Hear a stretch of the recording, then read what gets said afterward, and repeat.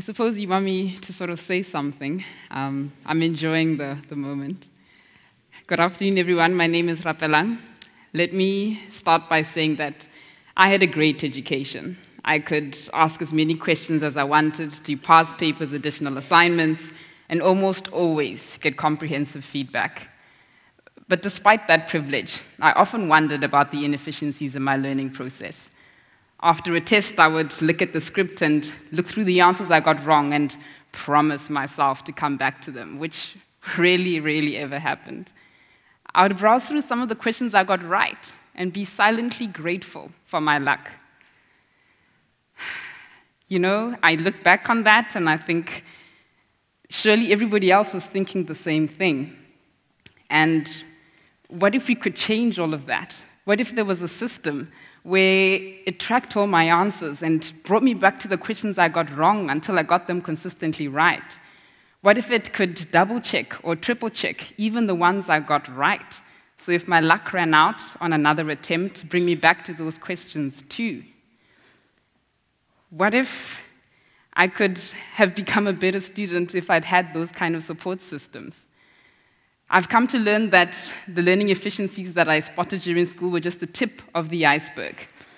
You see, I would spend hours rereading sections, hoping that on the second or third time it would stick longer in my brain. So I was amazed to learn that the scholar and philosopher William James already asserted in the late 1800s that active retrieval, testing, was far more effective in knowledge retention than passive retrieval, reading. Even Aristotle knew this. Two 2,000 years ago. You see, testing, continuous assessment, isn't just a method to measure where you are. It's a learning tool in and of itself, a mnemonic enhancer, far more effective in knowledge retention than rereading. But now that I think about it, what would I have done at school other than wait for the tests? It would have been implausible or too time consuming to try setting and taking my own tests. I've also learned something else. On the few occasions when I did test myself, which is an exaggeration because I'll just hide the answer with a blank piece of paper and try my best not to peep, I would do it at most once. But the key to retention is not in once off retrieval, but in repeated retrieval. I did get away with a pretty decent education nonetheless, but these kind of learning inefficiencies are exacerbated exponentially in resource constrained schools. I'm part of a maths tutoring program at one of the high schools in, a, in the townships, and most often these kids don't see a full marked test script. They see a mark. So they don't get to know what they did wrong, or right, for that matter. Learning is such a big space with so many extraneous variables that affect the whole process. But I believe, I have a hypothesis that one of the simplest things we can do to rekindle learning is to close the feedback loop. What if we took a different approach to learning? What if it was just as easy for me to pull out my phone, open an app that tested me on this week's math content or a legislative or process change at work, as it was for me to start tweeting, chatting, or sending yet another email? What if it was so simple to use, it always remembered where I left off, tracked the questions I got wrong, and helped me customize a learning plan to focus on them more than the ones I got right? What if it was so accessible with bite sized chunks of information that I could use it while in the car or train or bus to school or work or during the dead pockets of time that we have during the day? What if it was so useful I could see at a glance what I know and easily reinforce what I don't? I know we've seen a lot of innovation in the education space streaming lectures, online videos, digital textbooks, all as a means to get various forms of content online while digitizing content is crucial, it ultimately only solves the issue of access. It doesn't automatically ensure that learning has happened. After you've watched that video or read that textbook, how do you know the level of knowledge attained? How do you close the feedback loop? In the words of William Gibson, the future is already here. It's just not evenly distributed. We don't have to think in what ifs. These kinds of learning applications are already being used. Doctors in Austria um, use it to support their ongoing medical education and training through the NET Doctor program. According to one of the doctors, I quote, Physicians today are confronted with the widening gap between too little time and too much knowledge. You see, learning on mobile is the only way they can fit it in. The government of Bahrain is using mobile learning to push capacity building and knowledge transfer to enable them to better deliver government services. The results are already compelling, enough for them to expand the solution to cover more and more of their 300,000 person workforce. Both these organizations have large bodies of knowledge to transfer, and adaptive, retention focused mobile applications are, are succeeding where traditional methods have failed. In Kenya, a study was done where medical health workers who had already been trained but still struggled to adhere to the medical guidelines on the administration of malaria medication were sent SMS messages containing instructional guidelines and motivational quotes twice a day, five times a week for a period of 26 weeks. The repetition of the messages was initially just a reminder to implement the correct practices. But over time, that reinforcement formed a habit, such that the medical health adherence and performance did not decline significantly after the SMSs stopped. Even though not a full learning application, we can see that the simple learning principles work. Let me be clear this is not about rote learning or regurgitating what you've heard. It's about achieving core mastery in content that enables you to get to the next level of application and thought, where you can recognize, compare, critically review, engage in argument, and formulate your own opinions.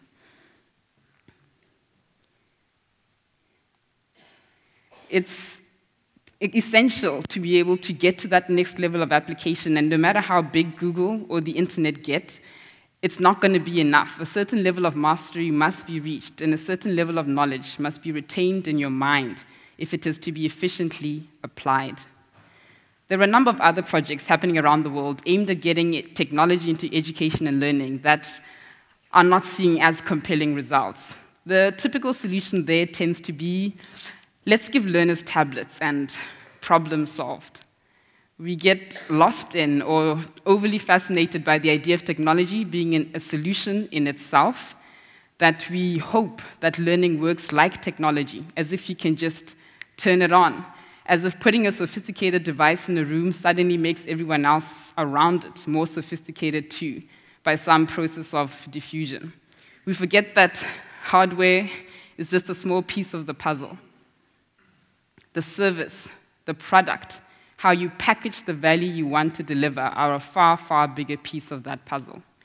Most of our energy should be focused on how we deliver a quality learning experience through technology, and we must still apply prudence and common sense to ensure it is relevant to users' needs and contexts. When you listen to your favorite radio station, you don't often think about what type of radio it is or what medium. You just want to listen to the radio, and it's that station, that particular experience you're looking for. Learning, education, training are so essential to so many parts of our society. But what strides have we really taken to more effectively achieve this major socio-economic need of skilling at scale? Let's take a step back. What is it about this kind of mobile learning that really changes the game?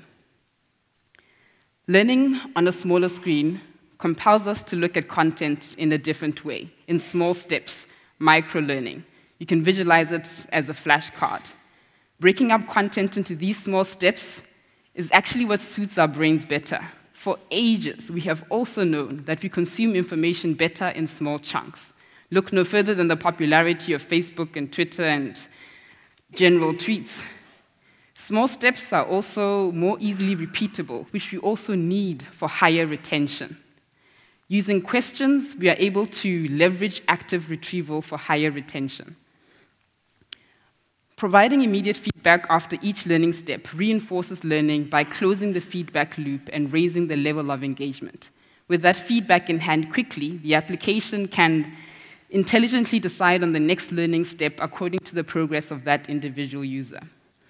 The best thing about using testing and questions as a learning tool instead of a measurement tool is that you can do away with arbitrary time limits, like you have 90 minutes, and whatever you get at the end of those 90 minutes is what you get.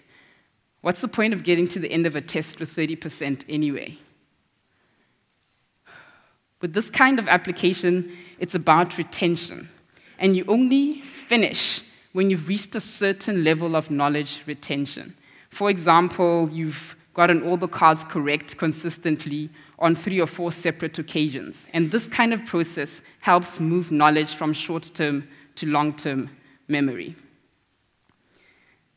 The convenience of mobility also changes how we can interact with learning content. Suddenly, it can be spontaneous, sporadic, something we do to pass time as part of a lifestyle, instead of something you hope to achieve at the end of the day if you still have some energy.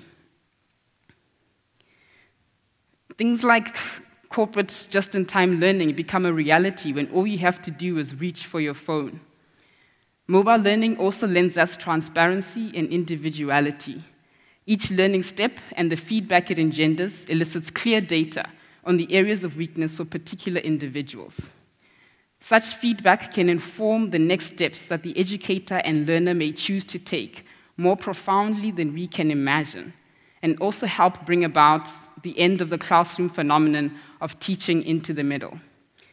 The limited testing we're doing now can't possibly elicit the depth of objective data at the level of granularity that we can achieve on digital platforms. Comparatively speaking, we're operating in black holes of ignorance, and access to more data will transform both learning and teaching of the future.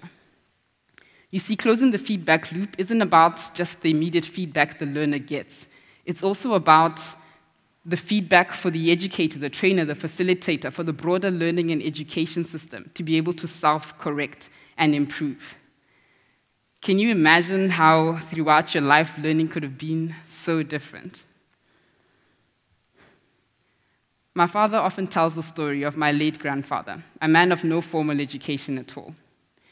My father would tend to the cattle, which was the basis of the little they had food, wealth, sustenance. My grandfather said to him, Go, leave these things. Something will happen to them, or someone will steal them. Leave these things and get an education, something no one can take away from you. Both my parents were the first in their families to finish high school and receive quality tertiary degrees, and that has made all the difference in their lives. I need not look further than my own family to appreciate the gross malaise that can happen to the human mind when you deny it in education. Mobile devices present us with invaluable opportunities to transform learning and give the learner greater personal control and ownership over their own learning path. Furthermore, they present us with the opportunity to personalize learning according to the progress of each individual. It's estimated that we can forget some 80% of what we learn if we don't take active steps to reinforce it. Free of any academic drill, learners young and old can rekindle learning and develop that learning ambition on mobile devices. If we truly wish to address the educational development challenges on this continent, including the need to skill at significant scale, we must begin to ask how to articulate a mobile learning experience that better equips us to, better, to reach our own potential. A learning experience that transfers core skills and knowledge. A learning experience that improves organizational performance. A learning experience that gets more kids through school. And this is something that we as Africans are going to need to figure out for ourselves. Thank you.